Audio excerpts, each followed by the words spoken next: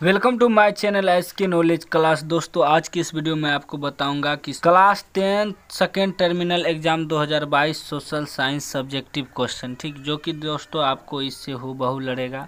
Video को last तक देखिएगा, अगर चैनल पर आप नए हैं तो चैनल को सब्सक्राइब कर लीजिए और घंटी को दबा के कर लीजिए। दोस्तों, पहला क्वेश्चन है, अफ्रीका के कागज़ी विभाजन से क्या अभिप्राय है? तो इसका उत्तर है दोस्तों कि 1855 ईस्वी में यूरोप की शक्तियों की बर्लिन, जर्मनी में एक बैठक हुई। इस बैठक में इन शक्तियों ने अफ्रीका को उसके नक्शे पर ही लकीरें खींचकर आपस में बांट लिया। इसे अफ्रीका का कागज़ी विभाजन कहते हैं। चलिए दोस्तों, अगला क्वेश्चन देख लेते हैं दोस्तों। और दोस्तों, तैयारी करके जाना है आपको भरपूर, क्योंकि अब अगर तैयारी करके जाएँगे तब अच्छे खासे रैंक उठाएँगे, ठीक? और अपना विश्वास खुद पे रखिए। चलिए, दूसरा क्वेश्चन देख लेते हैं।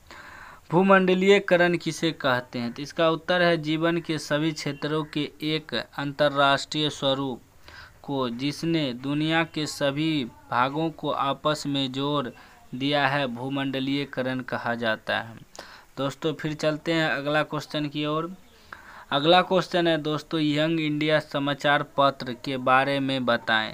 इसका उत्तर है यंग इंडिया नामक पत्र का संपादन महात्मा गांधी के द्वारा उनके विचारों एवं राष्ट्रीयवाद आंदोलन का प्रचार करने के लिए किया गया था।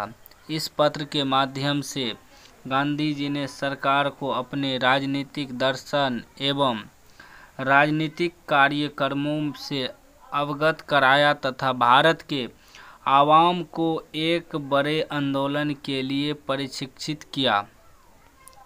चलिए दोस्तों, अगला सवाल देख लेते हैं चौथा नंबर का। चौथा नंबर क्वेश्चन है यूरोपीय इतिहास में घेटों का क्या महत्व है?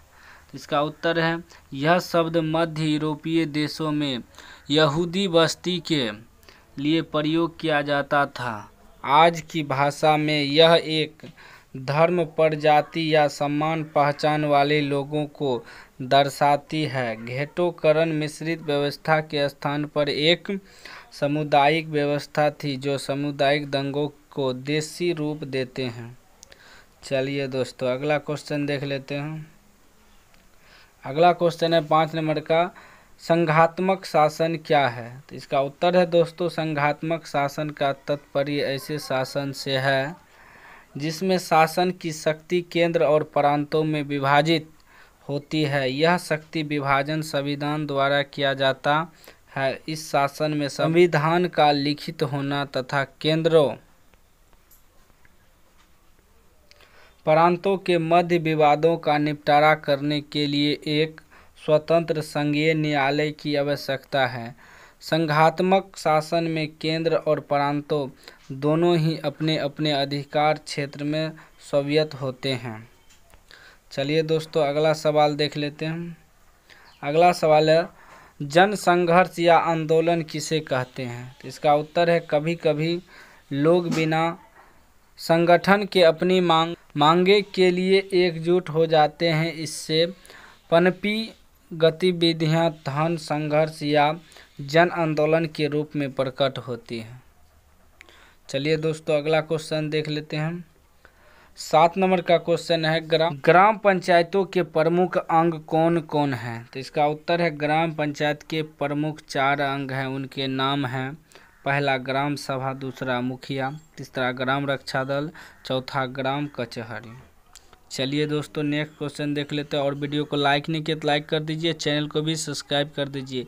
क्योंकि दोस्तों, हम हमेशा स्टूडेंट को जागरूक करते हैं पढ़ने के प्रति। चलिए दोस्तों, आठ नंबर का क्वेश्चन है, सतत विकास क्या है? तो इसका उत्तर है, विकास की वह प्रक्रिया जिसमें वर्तमान की आवश्यकता तथा ऐसा विकास जो जारी रह सके, टिकाऊ बन रह सके, एवं भावी पीढ़ी के विकास में सहायक हो।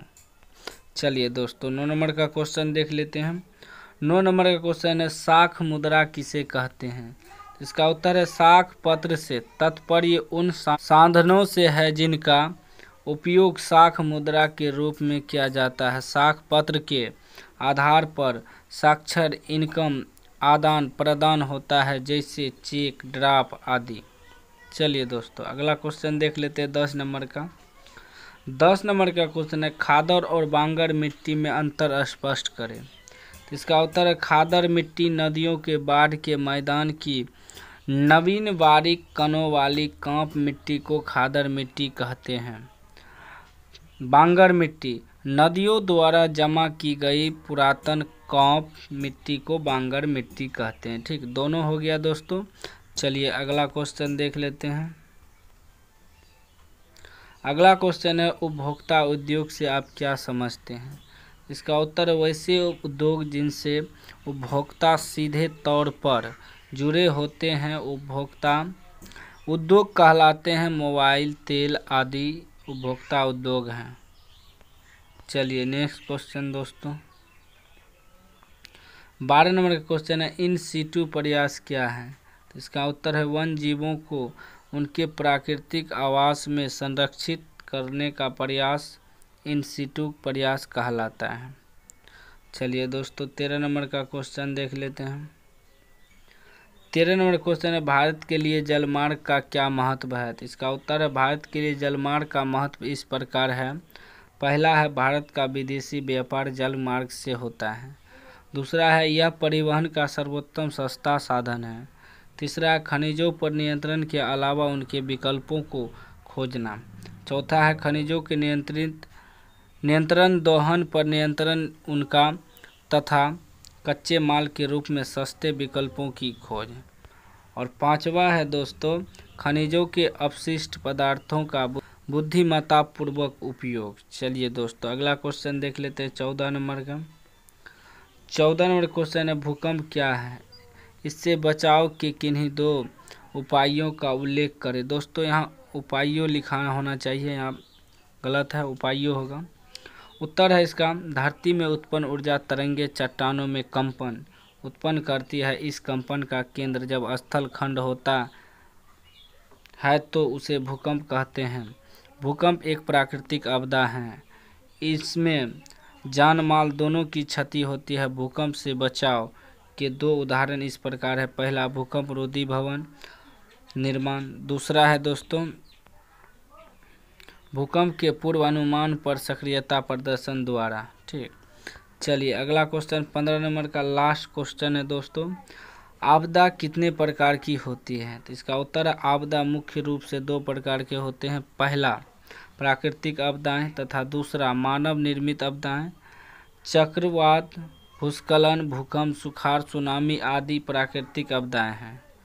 मानव द्वारा जनित आपदा जैसे आतंकवाद, तोड़फोड़, बम ब्लास्ट, वनों का विनाश आदि मानव निर्मित है, ठीक? तो दोस्तों, आज के वीडियो में बस इतना ही, नहीं तो वीडियो बहुत लंबा हो जाएगा। दोस्तों, और भी किसी सब्जेक्ट का आपको सब्जेक्टिव या ऑब्जेक्टिव चाहिए तो आप हमें कमेंट बॉक्स में ज़रूर लिखिएगा।